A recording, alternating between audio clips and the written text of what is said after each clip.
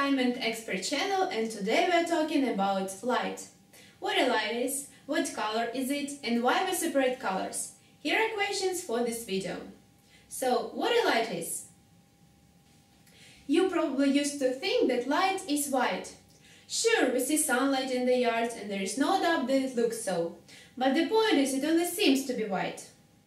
Well, to answer our question we should first disclose the nature of light. The epoch of light experimental research started absolutely unexpected and unplanned for one very talented scientist. Once, in early 1666, by upgrading a telescope, Isaac Newton noticed strange color streaks on the sides of his telescope lenses. Something like this. He was extremely surprised and at the same time excited with it. After years of thinking and investigating his new idea about light, in 1672 he decided to make his own experiment. He took a prism, separated light into colors, and claimed for the whole world that light is not indivisible but consists of many colors. This phenomenon of light decomposition is called dispersion. In a minute we will try to reproduce the same experiment as Newton did, but please be patient.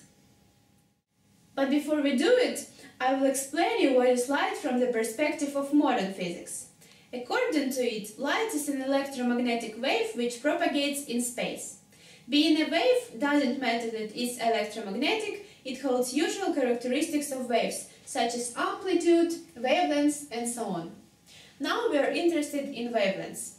For those who forgot, I will remind that wavelength is a distance between two maximums of a wave.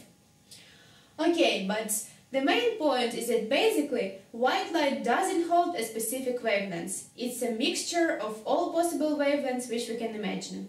And actually the main achievement of Newton is that he came up with idea how to separate and see all those constituents. Look, here is a picture of all constituents which is called a spectrum. By the way, the word spectrum comes from Latin word ghost, which proves that this phenomenon was totally unexplored and a little bit scary at that time. Now let's finally make our own experiment with prism and convince ourselves that light is indeed composite.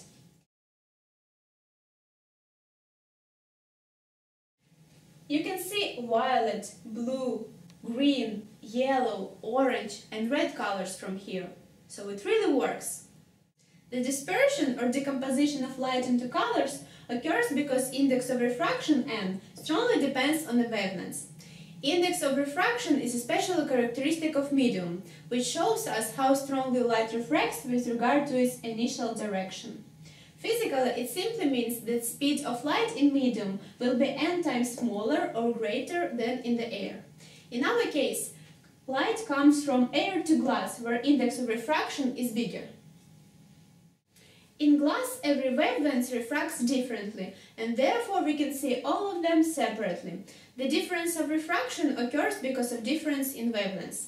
For instance, you see that for red color, the wavelength is the biggest, therefore it has the highest velocity in medium. On the contrary, violet color has the shortest wavelength and therefore the smallest velocity in medium. So according to our formula, the refraction index for the red color will be the smallest, and for violet, the biggest. It means that violet color will be refracted more strongly than red color. You see that change of refraction index works as some separator and helps us to see pure constituents from the disordered mixture of wavelengths. In fact, prism decomposes light into the whole spectrum. Another point is that human eyes can recognize only the range from violet to red color. This part we call as visible light and imaginary divided into smooth set of colors. But this division is very conventional. For example, you can choose which color seems more red for you from the red range of spectrum and look how it corresponds to specific wavelengths.